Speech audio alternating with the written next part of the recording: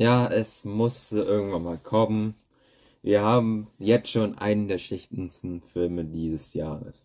Und somit herzlich willkommen zurück auf einem neuen Video hier auf Filmnet TV. Heute gibt es das Review zu Morbius, den neuen Sony Marvel Film.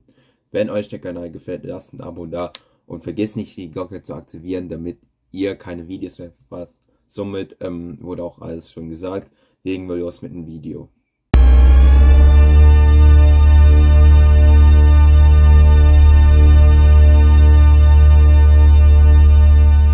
Morbius ist der dritte Film vom Sony ähm, Spider-Man Universe nach Venom 1, nach Venom 2. Ähm, das SSU, also das Sony Spider-Man Universe, ist halt so eine Art MCU, nur halt mit Spider-Man-Charakteren. Nächstes Jahr erwartet uns ja noch ähm, Craven the Hunter mit äh, Aaron Taylor Johnson und ähm, Madam Web, ähm, der, der aber noch kein Startdatum hat. Ich muss tatsächlich sagen, ich finde diese Sony Spider-Man-Filme meistens nur mittelmäßig. Ich finde, der erste Venom ist für mich ein Guilty Pleasure. Ich kann den gucken.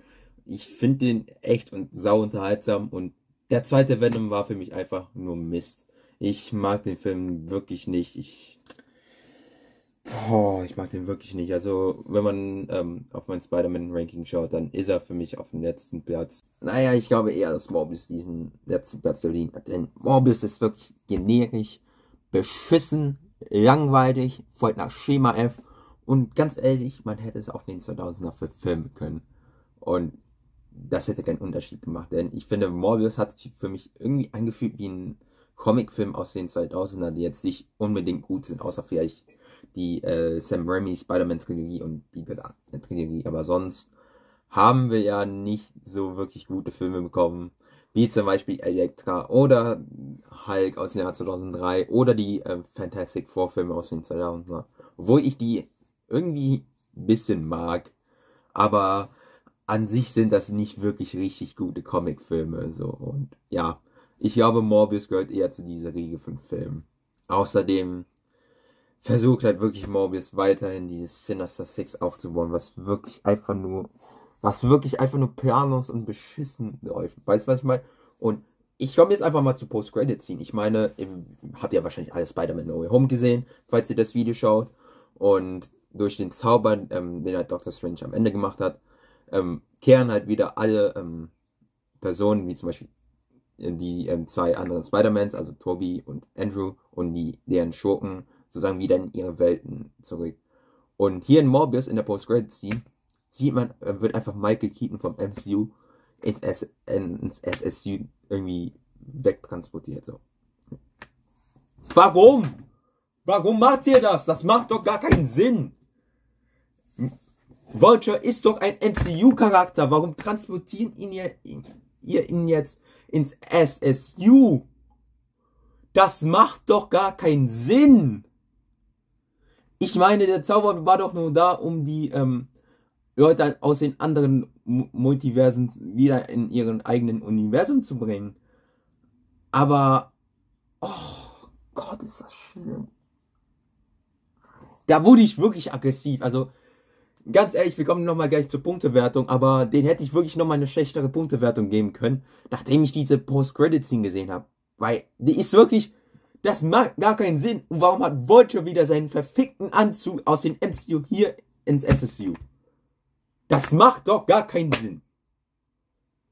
Ey, da, ich, da kriege ich wirklich eine Krawatte. Also wirklich, da kriege ich wirklich eine Krawatte. Das ist einfach nur ein fauler Versuch, die Sinister Six aufzubauen. Und das geht mir so auf den Sack. Sony, gib bitte wieder die Rechte an Marvel bzw. Disney ab. Ich glaube, da sind die eher besser aufgehoben. Übrigens, ich habe schon in den nächsten Tagen geplant, ein Video zu bringen, wo ich mal generell über dieses SSU-Thema darüber rede und was alles so schief läuft und wie man es verbessern könnte. Aber jetzt kommen wir mal zum Film an sich. Ich habe ja schon gesagt, dass ich den Film nicht mag, obwohl ich trotzdem einige Punkte in diesem Film halbwegs mochte. So die, die ersten 20 Minuten, ersten 20 bis 25 Minuten, die waren für mich echt unterhaltsam, waren okay. Und ich dachte mir, vielleicht könnte daraus eine ähm, coole Story ergeben. Aber nach, die, aber nach dem Zeitpunkt, ähm, nachdem Michael Morbius sozusagen zu diesem Vampir wird, so, die Action-Szenen äh, auf dem Boot, auf dem Schiff, fand ich noch halbwegs okay. So. Aber da wurde halt weggeschnitten, weil muss ja FSK 12 sein, sonst äh, kriegt er Sony keine Moneten. Ihr wisst, was ich meine. Und nach, nach dieser Szene ist der Film wirklich für mich einfach nur noch gesunken und ja, der ist für mich einfach nur ein, er ist für mich wie, er ist für mich einfach nur langweilig geworden. Ich hatte auch das Gefühl, dass man so durch die Handlung geskippt ist. Ich habe das Gefühl, es fehlt irgendwie doch ein Teil des Films. Ich meine, der Film dauert eine Stunde 45. Da sind ja noch die Credits ähm, mit dazu. Der Film dauert aber so insgesamt, insgesamt so ungefähr anderthalb Stunden. So anderthalb bis ähm, eine Stunde 35 so. Und ich habe das Gefühl, es fehlen noch irgendwie so 10 bis 20 Minuten Erklärung. Was, ähm, was so zum Beispiel den, die Motivation der Schurke gespielt von Matt Smith ist. Und plötzlich wird er einfach so, plötzlich hat er auch diesen Serum genommen und es wird irgendwie gar nicht erklärt. So, er ist einfach nur böse. So, er ist einfach nur böse, um böse zu sein. Obwohl ich muss sagen, Matt, Matt Smith hatte irgendwie schon seinen Spaß mit der Rolle. Und ich konnte ihn das schon irgendwie ein bisschen abgewinnen. Nichtsdestotrotz, ich fand ihn trotzdem echt lahm. Ich fand ihn echt lahm. Das, obwohl man ihn so ein bisschen interessant aufgebaut hat. Aber was man ihnen danach gemacht hat, ist einfach nur.